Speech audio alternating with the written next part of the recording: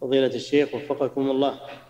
يقول هناك من المصلين من لا يكمل الصفوف بل يبدأون صفا جديدا من أجل إدراك الركعة فهل يجوز لهم ذلك؟ لا ما يجوز لهم ذلك. لا يبدأون صفا إلا بعد نهاية الصف الذي قبله.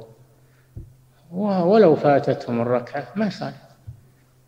ما أدركتم فصلوا وما فاتكم فأتموا. نعم. إعداد مشروع كبار العلماء بالكويت أعزها الله بالتوحيد والسنة.